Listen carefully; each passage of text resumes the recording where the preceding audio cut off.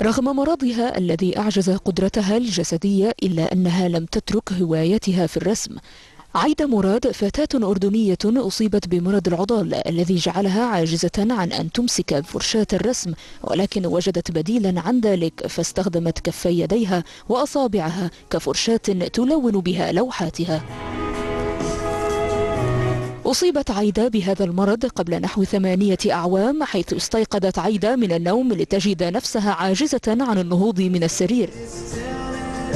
ومع بداية مرض عايدة إلا أنها قررت أن تخوض حربا معه. وبفضل مزيج من الطب التقليدي والتأمل وعلاجات الزيوت النباتية تعافى معظم جسدها.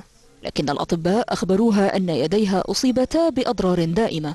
دائما من الناس إنه أول وحدة بالصف وأشتغل 40 ساعة بال- بالأسبوع ودائما أطلع مع صحباتي. بعدين بيوم وليلة آه، فقت ومش قادرة أحرك إيدي أستعملهم. وبعدين بطلت أقدر أحرك كل جسمي. يعني تخيلي من يوم إنه كثير نشيطة بالحياة ليوم تاني إنه مش قادرة أعمل إشي. ف صار لي شوك ورحت على الدكاترة ما حد فاهم إيش صار.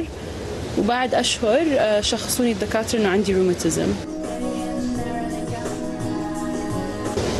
الرسم خل اعطاني مجال إنه أفش قلبي وأحكي إنه ح- يعني بالرسم ببلش بإشي مثلا ألوان شوي آم، غامقة. بعدين دائما بنهي مع ألوان فاتحة. عشان إلي بفكر أوكي بلشت بإشي صعب رح أنهي بإشي حلو وخفيف ولطيف رسمت عايدة طريقا لها من التحديات والانتصارات على عجزها فهي مثال يقتضى به في العزيمة والإرادة.